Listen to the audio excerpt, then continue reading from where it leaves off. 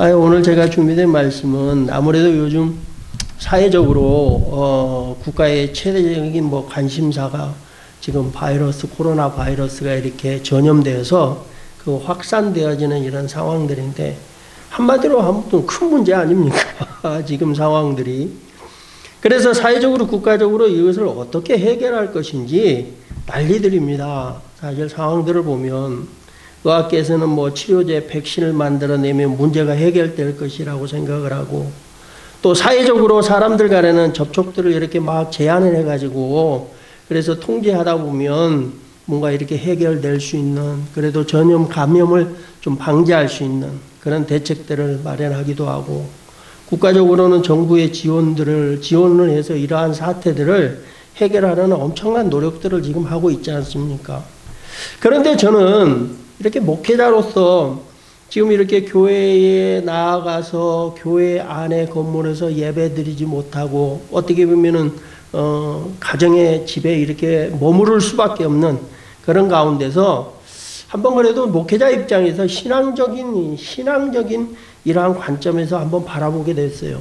사회적으로 막 이 문제를 해결하려고 하는 이런 방법들도 있지만은 과연 우리가 신앙적으로 생각해 보면 왜 이러한 상황들이 지금 우리의 이렇게 접해서 어려움들을 겪게 하고 있는지. 사회적으로 보면은 막 이러한 질병의 감염 경로를 찾아서 막 추적해서 분석하고 그 원인을 찾고 그 증상들에 맞는 치료제를 만들어내고 그렇게 해서 막 문제들을 해결하려고 노력하고 있는데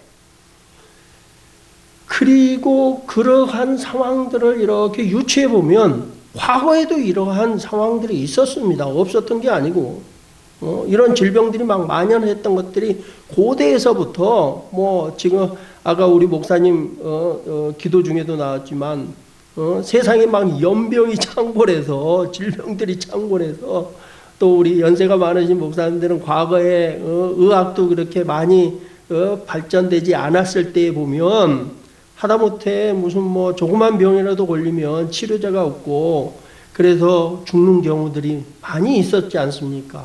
아이들도 지금은 살릴 수 있는데 어린아이들이 질병을 걸려서 속수무책으로 죽을 수밖에 없는 과거에 그러한 병력들이 있었단 말이죠. 그래서 지금 상황에서 이러한 바이러스가 이렇게 질병이 만연돼 있는 이런 상황들이 뭐 이렇게 처음 발생한 이런 상황들이 아니라 우리가 살아오는 삶 가운데 반복적으로 있었던 상황들입니다. 그러다 보니까는 이러한 것들을 방지하고 또 치료하기 위해서 막 신약들을 개발하지도 않습니까? 개발하기도 하지 않습니까? 그런데 문제는, 문제는 가만히 과거에 있었던 질병이 만연되었던 그런 상황들을 보면 다 그래도 그 질병들이 지나갔잖아요. 그런데 문제는 뭐냐 그러면 완전하게 해결되지 않았다는 거예요. 완전하게 해결되지 않았다는. 그래서 신종 바이러스라고 또 생기지 않습니까? 바이러스는 바이러스인데 똑같은 유사한 바이러스예요. 코로나 바이러스예요. 그러는데 이게 신종으로 나왔다는 거예요. 또다시 나오게 된다는 거예요. 그러니까 사람들이 아무리 노력을 해서 그 질병을 예방을 하기도 하고 치료를 해보지만 완전하게 해결되지 않는다는 문제이죠. 그러나 저는 목회자 입장에서 이러한 일들이 발생되는 것을 그러면 신앙적으로 이렇게 생각해 보게 되었다는 것은 그러면 과연 성경에서는 뭐라고 말하고 있느냐 이 말이에요. 우리가 살아왔던 모든 생활들이 성경의 말씀들이 다 있잖아요. 과거에. 성경의 말씀에 보면 사람들이 질병에 걸려 죽기도 하고 여러 가지 고난들을 당하기도 하고 죽임을 당하기도 하고 사람들이 겪었던 그러한 일상들이 다 성경 말씀에 나와 있잖아요, 얘들이. 예를 들면, 이번 바이러스가 이렇게 발생된 것에 대해서 이렇게 역학적으로 해보니까 중국의 우한이라는 곳에서 발생이 됐다는 거예요. 그러면서 그 우한 지역에 그러면 어디에서 발생됐느냐 해보니까 우한에서 이렇게 먹을거리를 파는 시장에서 발생됐는데 그 시장에 파는 먹거리들을 보니까 아, 뭐 혹시 동영상을 보셨는지 모르겠지만 그 시장의 상황들을 누가 이렇게 동영상으로 찍어놓은 사진을 보니까 아, 진짜 그냥 이렇게 영상으로 실질적으로 보는 게 아니라 영상으로 보는데도 아우 막 비가 상하는 상할 정도로 어? 뭐막 들짐승에 뭐 박쥐에 고양이에 뱀에 뭐 이러한 것들이 막 먹거리를 정말 막 비위생적으로 정말 그곳에서 질병이 생기지 아니하면 비정상이라 할 만큼 진짜 너무너무 불결하고 비위생적인 그러한 시장의 모습 가운데 그래도 사람들이 그 먹거리를 사겠다고 막 분주하게 모여들이 있는 거예요. 그 우한이라는 시장 자체가 그러면서 그 동물에게서 야생의 어떤 동물에서 그게 그 어, 저기가 바이러스가 옮겨왔다는 거죠. 만일 만일 사실 만일 사실 정말로 그 야생의 동물에서 뭐 박쥐나 들고양이나 이런 고양이들에서 그것이 어, 전염이 돼 있다고 한다고 그러면 그러면 성경에서는 어떻게 되어 있는지 한번 보시죠. 성경에. 한번 성경 한번 찾아보실래요? 우리 참고로 레기 레기 한 11장? 혹시 보셨는지 모르겠지만은 예를 들어서 그냥 한번 찾아보자는 거예요. 레기 11장에 보면 레기 11장 13절에서 19절에 보면 하나님께서 먹지 말아야 될 것들을 이렇게 기록해 놓았어요. 그 중에 보면 새 중에 너희가 가증이 여길 것은 이것이라 이것들이 가증한 점 먹지 말지니 곧 독수리와 솔겨와 매와 매유와 까마귀와 타조와 다오마스와 갈매기와 새매유와 올빼미와 노자와 부엉이와 따오기와 당하와 오름과 학과 황새유와 대승과 박진이라. 만약에 예를 들어서 성경에서 인간들이 지금 예를 들어서 그 우한이라는 시장에서 판매되는 그러한 들짐승에서 만약에 이런 바이러스가 유수됐다고 한다고 하면 거기에서 막 박쥐를 잡아서 야생 박쥐를 잡아서 막 팔더라고. 진짜로 그것을 먹음으로 인해서 바이러스가 전염됐다고 한다고 하면 성경에 보면 먹지 말라 했다는 거예요. 먹지 말라 했다는 거예요. 이것은 무엇을 의미가 하냐면 성경에서 하지 것을 하면 문제가 된다는 거 아닙니까? 성경에서 먹지 말라고 먹지 말아야 되는데 예를 들어서 이렇게 추론하는 거지만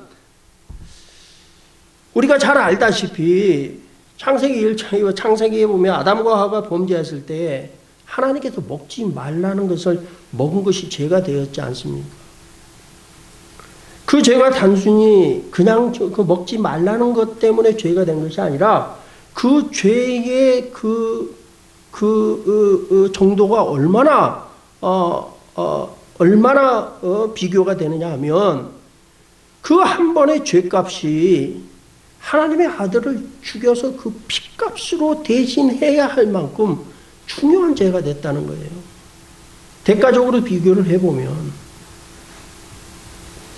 순전히 그 선악과를 먹은 것이 문제가 아니라 하나님의 말씀을 어긴 죄라 이 말입니다. 그래서 어떤 목사님이 어떤 목사님께서 예전에 성경을 어떤 동사적인 단어로 정의를 한다고 하면 성경을 이 말씀을 동사적인 단어로 정의를 한다고 하면 하지 말라 하라는 건 하라는 그러한 어, 정의라는 거예요. 성경 자체가 하지 말라 하라 한마디로 말하면 성경은 그래서 구약의 말씀은 우리가 율법을 중심으로 하지 말라는 말이 많아요. 예를 들어서 10계명만 보더라도 10계명 중에서 두 가지 빼놓고는 8계명은 하지 말라는 거예요.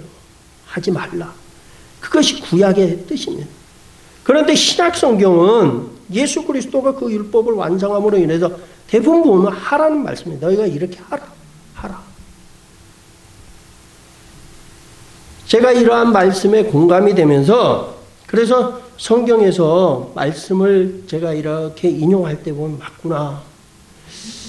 근본적인 것은 간단하게 하나님의 말씀대로 하라고 하는 것을 하고 하지 말라는 것을 하지 않게, 않는 것이 우리의 신앙생활의 기본이구나. 그래서 하라는 것을 하지 않고 하지 말라는 것을 하는 것이 죄가 되는 것입니다. 간단하게 말하면 막 뭐, 뭐, 뭐 윤리 도덕적으로 우리가 짓는 죄도 죄지만 간단하게 말씀에 적용을 해보면 하라 하는 것을 하고 하지 말라는 것을 하지 말아야 되는데 하라는 것을 하지 않고 하지 말라는 것을 하는 것이 우리의 근본적인 죄가 된다는 거예요. 그래서 요한복음 16장 9절에 보면 예수님께서 말씀을 하세요. 죄에 대해서 이렇게 정의를 내려놓으셨어요. 죄에 대하여라 하면 너희가 나를 믿지 아니함이라. 하나님의 말씀을 믿지 아니함이 죄라는 거예요. 다른 것이 죄가 아니라. 하나님과 아담이 아담과 하와가 약속했을 때에 그 약속을 믿지 아니하는 게 죄라 이 말입니다. 먹지 말라는 것을 먹는 것이 죄라는 거예요. 하지 말라는 것을 하는 것이 죄라는 거예요. 지금의 사태를 통해서 우리 그리스도인들이 세상 사람들과 그 원인과 해결 방법이 있어서 보는 관점이 우리는 좀 달라야 된다고 생각을 합니다. 세상에서 이렇게 보여주는 것들도 우리가 주의하고 염려해야 하겠지만 우리가 그리스도인으로서 보는 관점은 좀 달라야 되지 않겠느냐. 그래서 이러한 문제를 막 세상 사람들은 세상적인 방법과 온갖 수단을 통해서 막 해결해 보려고 하지만은 우리가 신앙적으로 생각하는 것은 정말 말씀을 어, 말씀에 유추해 보면 정말 하나님만이 이러한 문제를 완전하게 해결하실 수 있는 분이라는 사실을 우리가 다시 한번 확인해 보는 거예요. 오직 하나님. 백신을 아무리 만들어서 치료해도 또 거기에 대응하는 강력한 질병이 발생할 것입니다. 어? 지금 국가적으로 질병으로 인해서 천문학적인 비용을 지불하고 있어요. 미국에서 지금 이번에 뭐 받으셨는지 모르겠지만 1200불 준 거 얼마나 감사해요. 진짜 꿀같죠. 어? 두 사람 두 가족 되니까 2,400불. 그런데 그게 지금 해당되는 1억, 1억 뭐한 5천만 명에 해당된다고 하는데 진짜 말 그대로 막 2천조에 가까운 뭐, 야, 진짜 상상도 안 가는 돈의 액수잖아요. 어. 그러한 천문학적인 비용을 지불하고 아무리 지금 질병에 대한 것을 해결해 본다 하더라도 어떤 대가를 한다 하더라도 완전하게 해결할 수 없다는 것입니다. 사람들의 방법으로. 오늘 말씀을 제가 준비하면서 오늘 말씀을 준비하면서 지금의 사태를 이렇게 유치해 보니까 사실 미국이 세계적으로 최강국이잖아요. 최강국. 그런데 어쩌면 미국에서 최강국이고 최선진국이라고 하는 미국이 제일 감염률이 높고 결과적으로 보면 지금 현재 사태 뭐 오늘 아침에 보니까 뭐 얼마? 아까 제가 간단하게 뭐 이렇게 적어봤는데 숫자가 없네. 뭐 70만 명, 80만 명에 가까운 어, 벌써 거기에 뭐 4만 4만 명이 넘는 사망자들.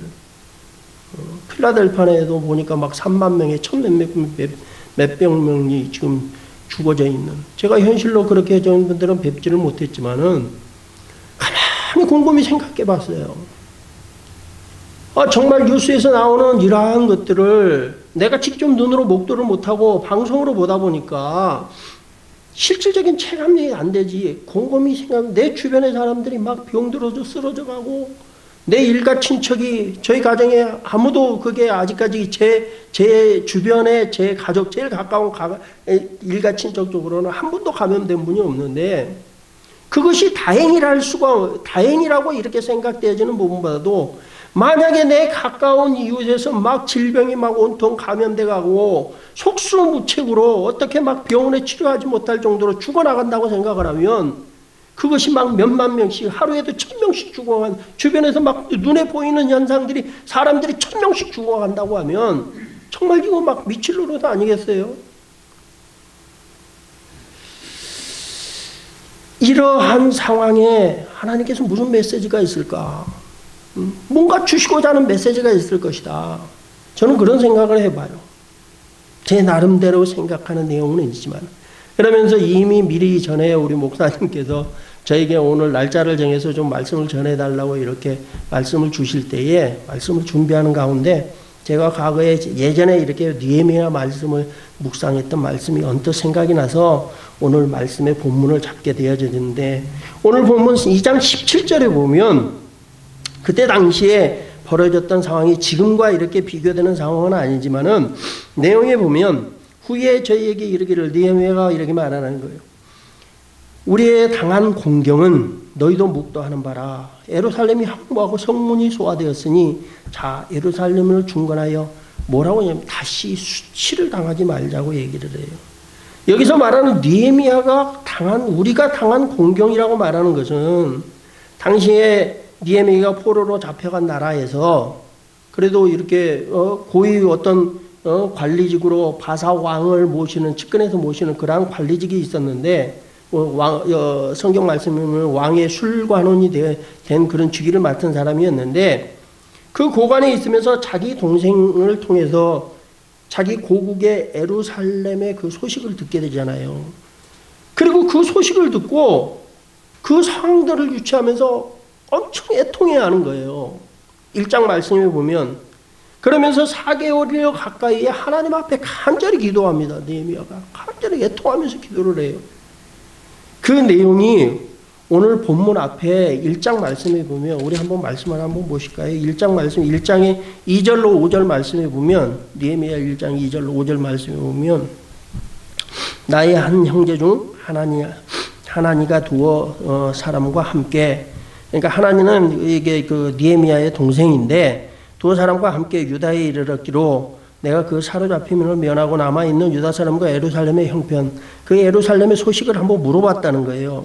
저희가 내가 그러면서 그 저희가 이르기를 사로잡힘을 면하고 거기에 남아 있는 자들이 그 도에서 환란을 당하고 능욕을 당하며 에루살렘 성은 헐파되고 성문들은 소화되었다 하는지라 안전 에루살렘 성이 자기 눈으로 못 봤는데 소식을 전해주는 소식만으로도 에루살렘 성이 완전히 해파되어지고 성문은 다 불타 없어지고 성경 다, 다 해파되었다는 소식을 듣게 돼. 이 말을 듣고 사절에 보니까 그 말을 듣고 앉아서 울고 수일 동안 슬퍼하여 하늘의 하나님 앞에 금식하며 기도했다는 겁니다. 그 소식을 들었을 때.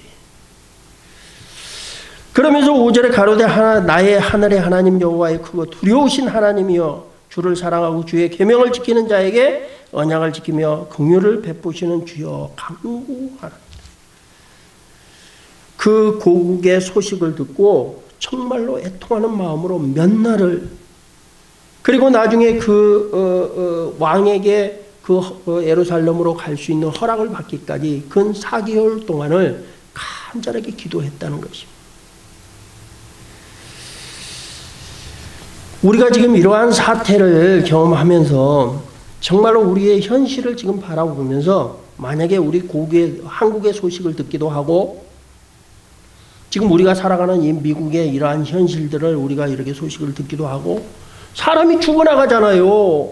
막 병들어서 속시무책으로 몇, 몇천 명씩 우리가 지금 불안해서 떨면서 어? 가까이 가면은 정말로 집 밖에도 못 나가게 하는 그러한 현실 가운데 정말 사람과 사람이 대면하고 가깝게 막수하고 반갑게 서로 만나야 될 우리가 이, 이러한 사람들의 관계들을 멀리 띄울 수밖에 없게 만들고 거리감을 두게 만들고 불편하게 만들고 의심하게 만들고 그런 상황 가운데서 경제적으로도 어려움을 당하니까 얼마나 마음이 이렇게 촉박해집니까?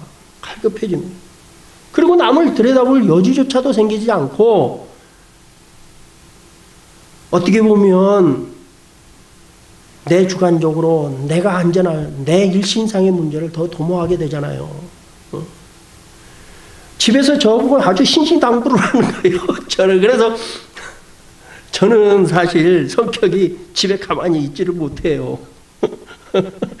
막 무조건 막 약속을 해서라도 저는 돌아다녀야 돼요. 만나줄 사람이 없으면 제가 약속을 해서 밥 사주겠다고 제가 막 그렇게 돌아다녀야 돼요.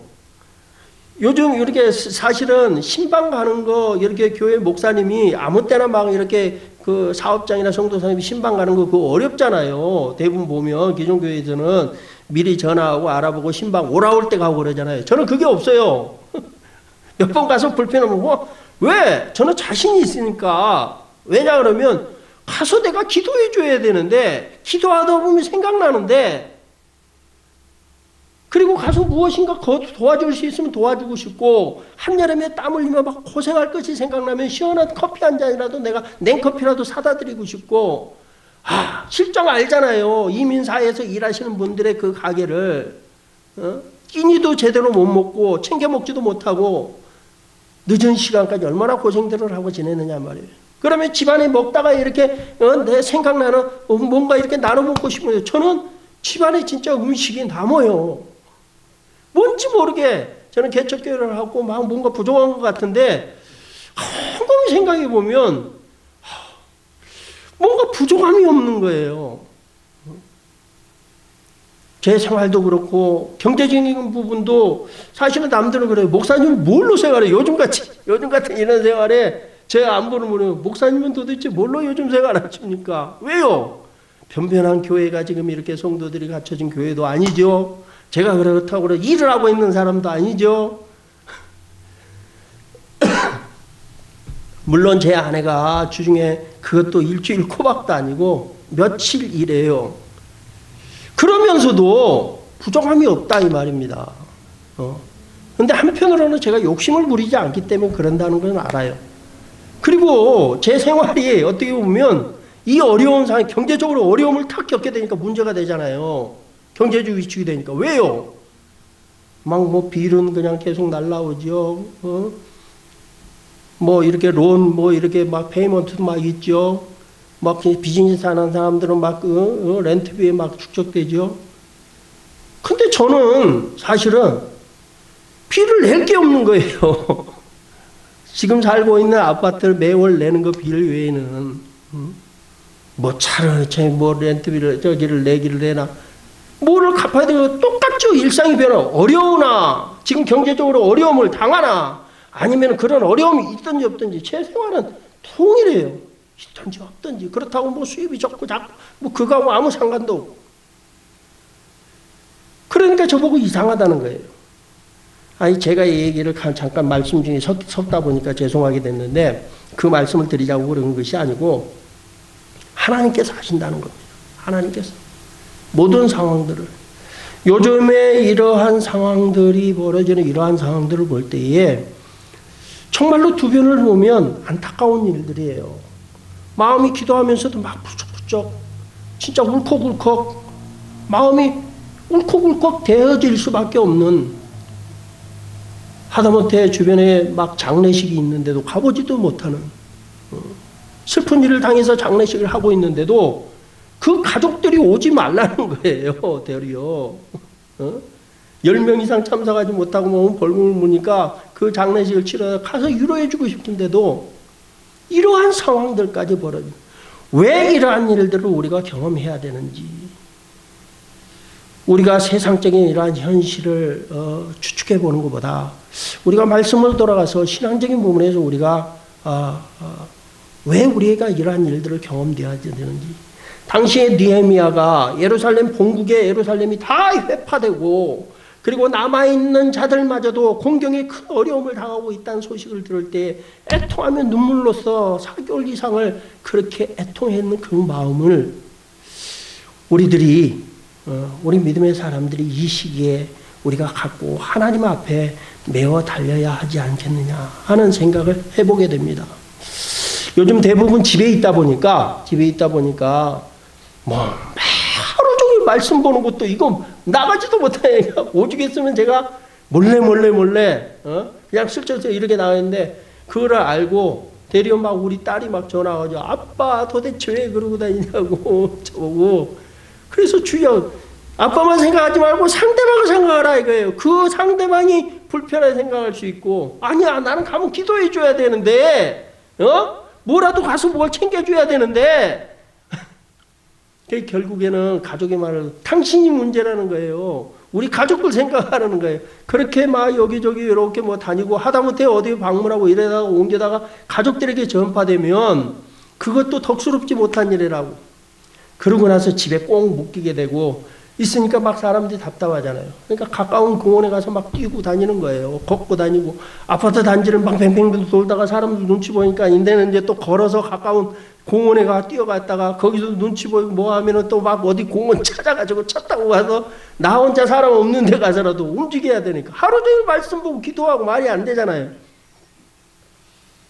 그러는 가운데 그래도 시간이 있으니까 인터넷을 이렇게 통해서 말씀들을 듣게 됐는데 몇 주 전에 미국 어, 뉴욕 맨하탄에 어, 타임스퀘어 교회에 담임하셨던 어느 목사님의 설교를 잠깐 듣게 됐어요. 이미 10년 전에 돌아가신 분인데 그분이 20년 전에 했던 설교 말씀이라고 어떻게 서치하다 보니까 그 설교 말씀을 듣게 됐어요.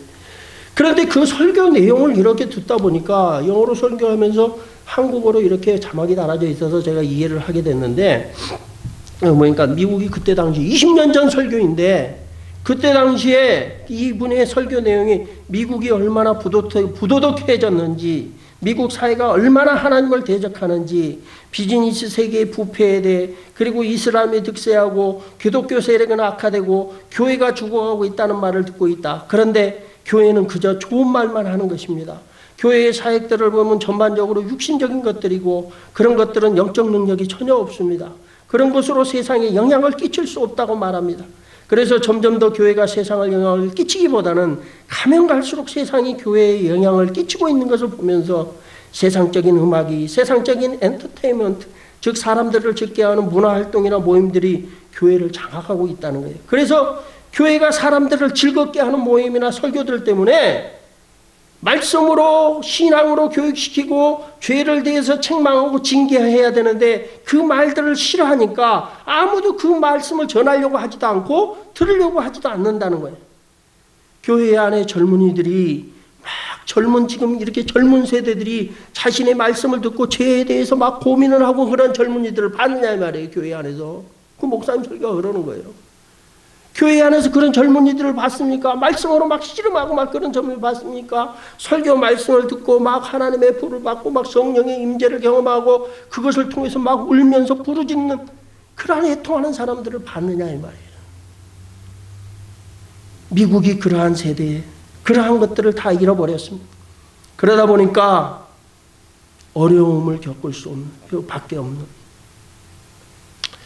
니에미가 자신의 조국의 예루살렘에 폐허가 소식을 듣고 눈물을 흘리면서 금식으로 기도할 수 있는 것은 그 마음은 지금 우리 그리스도인들도 이러한 상황들 가운데 정말로 간절한 마음으로 기도해야 될 때가 아닌가 싶습니다. 다른 방법이 없잖아요.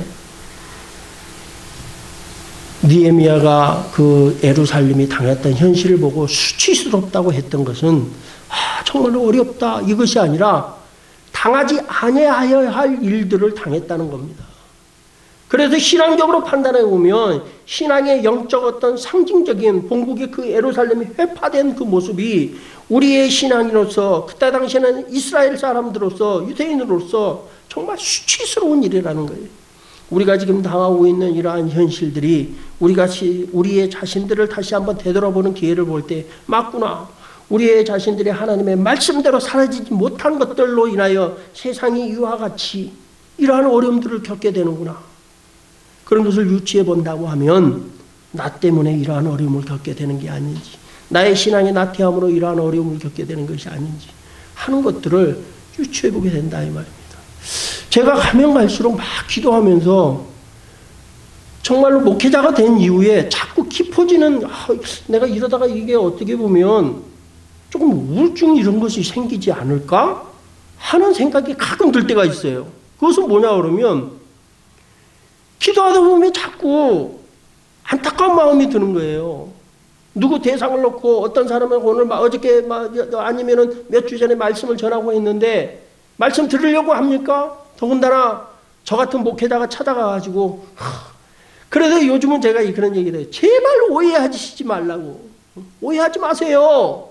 교회 나오라는 거 아닙니다. 제가 우리 교회에 제가 개척을 하고 사람이 없다 보니까 막 사람들 모으기 위해서 나오라. 그게 아니고 예수 믿으세요. 제가 교회를 이렇게 설립을 하고 새로운 교회를 만들려고 하는 것은 이 교회가 부흥될 것이라고 기대하는 것이 아니라 지금의 수많은 있는 교회들 중에서 없어지는 교회들을 대신해서 다시 또 새 교회가 생겨야 되지 않겠습니까? 자꾸 교회들은 힘, 어, 어, 어, 어, 교회들은 어, 자꾸 없어지고 목회자들이 자꾸 현장에서 떠나고 성도들은 교회에서 떠나고 이러한 상황 가운데 교회 숫자들은 자꾸 줄어드는데 그렇다고 한다고 하면 몇몇 남아 있는 사람들이 많이 모이는 교회, 편리감을 주는 교회, 시스템이 되어 있는 교회, 그 교회로밖에 몰릴 수밖에 없잖아요. 그 교회 가서 신앙생활에서 성장된다? 아니에요. 교회를 제가 비평하고 비판하는 것이 아니라 정말 사람들의 편리를 위해서 모일 수밖에 없는 교회가 아니라 사람 몇 사람 놓고라도 이 사람에게 정말로 복음을 전해야 되고 그리고 일대일로 교육시키면 얼마나 가깝겠어요. 그렇게라도 새 교회가 생겨야 된다는 간절함이 있기 때문에 정말 예수 믿으시라는 거예요. 해보라는 거예요. 그리고 제가 강요하는 것은 뭐냐면 저는 장점이 있습니다. 제가 다른 목회자들보다도 뭔가 내세울 것도 없고 자랑할 것도 없고 무슨 배경이 좋은 것도 없고 그렇다고 해서 신학적으로 제가 뭐 투철한 것도 없지만 한 가지 제가 자신 있는 것은 제 자신이 경험해 본 바를 제가 전해드립니다. 제가 경험해 보니 좋더라 이 말이에요. 제가 정말로 신앙생활을 했지만은 제가 깨달아 보니 정말 맞더라는 거예요. 삶의 어려움을 겪어보셨습니까? 죽기까지 가보셨습니까? 가봤다는 거예요. 가보니까 살리는 것이 하나님이 살리시더라는 거예요. 그래서 제 장점은 그거 하나입니다. 내가 경험해 본 바를 제가 말씀드리니 제발 믿으세요. 그런데 믿느냐 이 말이에요. 아, 목사님. 안타깝잖아요. 얼마 며칠 전에도 지지난주에 델라웨에 돌아가신 분이 계세요. 저하고 나이가 한 살 차이밖에 안 나요. 그분을 7년 전에 제가 만났어요. 그때 당시에 그분에게 감히 얼마나 성실하고 가정에 충실하고 얼마나 얼마나 순수한 분인지 정말로 성실한 분이었어요. 그리고 건강한 분이에요. 델라웨에서 한인의 체육대회 하면 마지막에 마라톤이 있어요. 신마에. 매해 할 때마다 이분이 마라톤에 1등 하는 거예요. 그 상품이 자전거였어요. 매해 타가니까 그 마라톤 하려고 이분이 1년 동안 준비한다고. 그럴 정도로 정말 건강한 분이셨어요. 저보고 저는 60도 안 됐지만 그분도 60이 안 됐어요. 7년 전에 그분을 만났는데 교회 만데 보니까 너무나 성실한 분이. 그런데 일이 너무너무 바쁜 가운데 제가 전도사로 있을 텐데 저보고 좀 바쁜 시즌에 좀 도와달라고 그래서 일을 하는 게 없으니까 네 가서 보니까 어 이거는 도저히 사람이 할 일이 아니더라고요. 집사님 안 됩니다. 지금 이렇게 일하면 사람 죽어요. 제가 일하는 뭐 저는 도저히 그렇게 일할 수 없습니다. 이거 이렇게 일하시면 죽습니다. 정말 이렇게 일하면 안 됩니다. 그런데 해야 된다는 거예요. 왜 일이 있으니까 그 일을 해야 된다는 거예요. 그리고 가정의 생계를 위해 안 됩니다. 병듭니다. 정말 2년 만에 췌장암이 왔어요.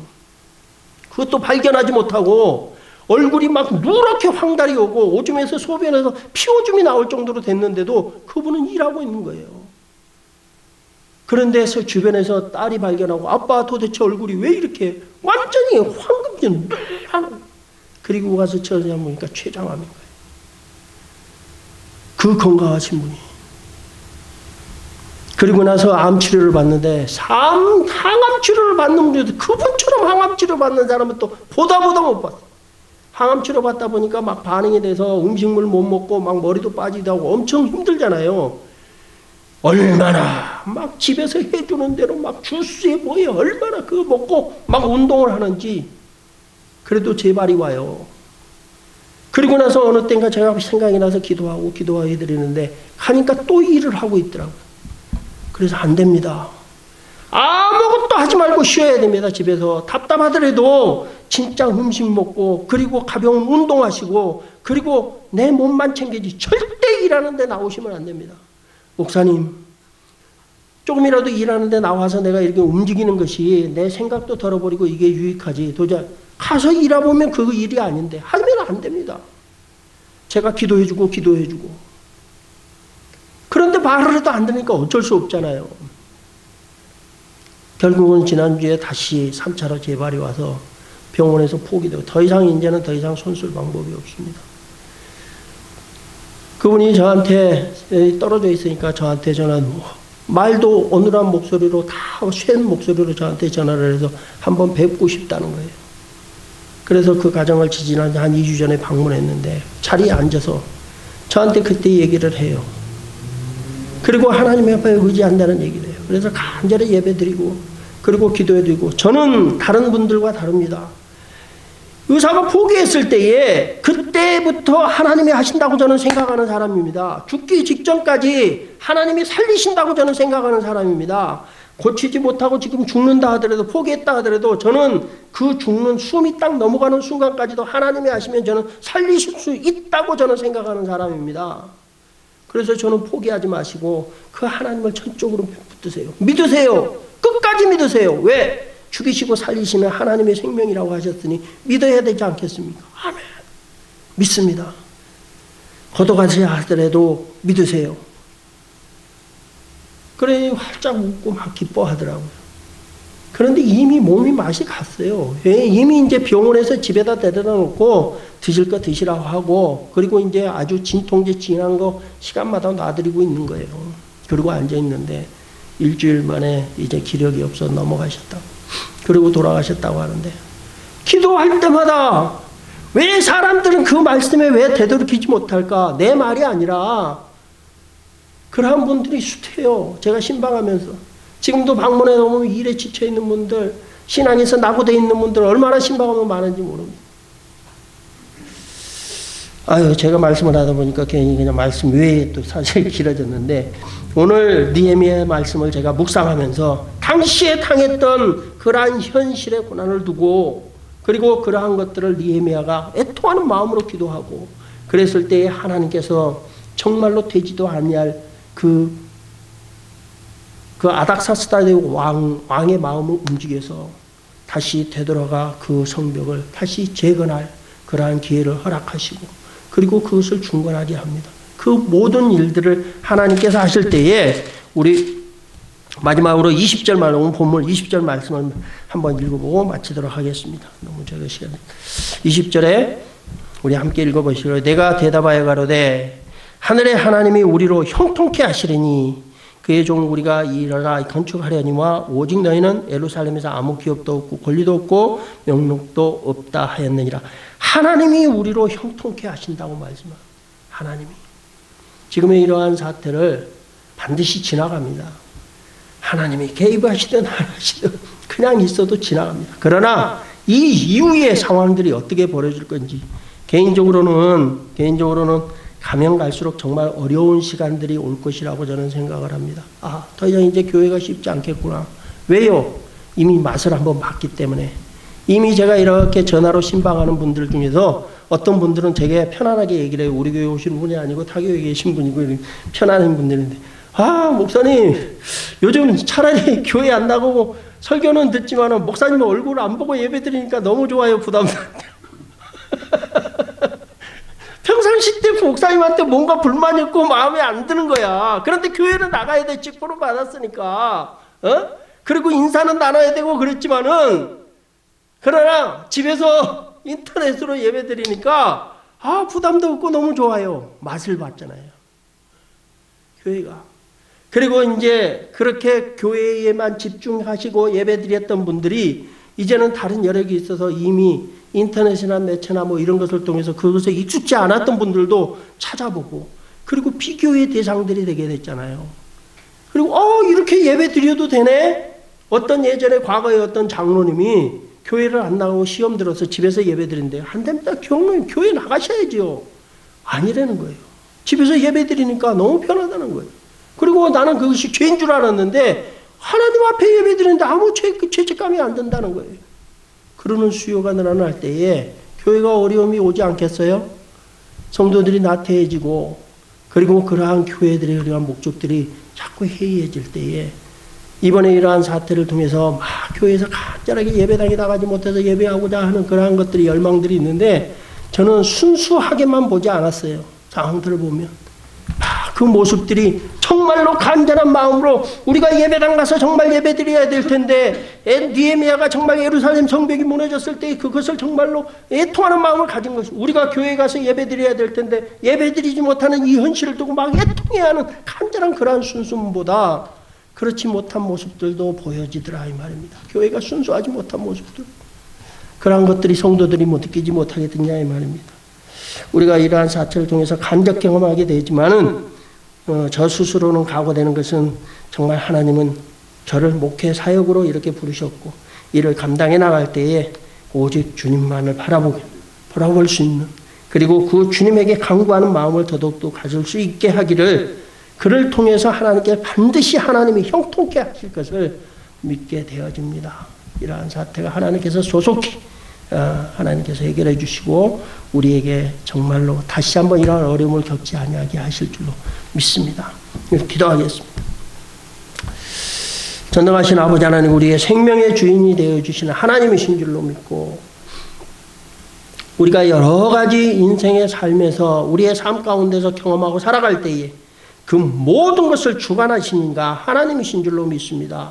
우리가 순간순간 경험되어지는 그러한 사건들로 인하여 어찌할 때는 두렵기도 하고 걱정, 근심, 염려가 되어지지만 우리가 믿음 안에서 주의하되 정말 온전하신 하나님만을 바라볼 수 있도록 인도하여 주시고 그를 통해서 우리의 주변을 둘러보고 우리가 어, 하나님의 말씀에 의지되어 정말로 하나님께서 우리에게 뜻하시고자 하는 뜻들이 어떠한 것인지를 발견하고 우리의 마음이 아버지 하나님 그를 구하기에 애통하는 마음들을 가질 수 있도록 인도하여 주시고 그 뜻을 해야 하나님께서 모든 일들을 선하신 뜻대로 회복하시고 다시 한번 하나님의 평강 가운데 둘러 주실 줄로 믿습니다. 교회를 다시 한번 회복시켜 주시고 가정들을 회복시켜 주시고 믿음에서 나태되어 있는 우리의 믿음들을 다시 한번 아버지 하나님 견고하게 인도하여 주시옵소서. 감사드리며 예수님의 이름으로 기도합니다. 아멘.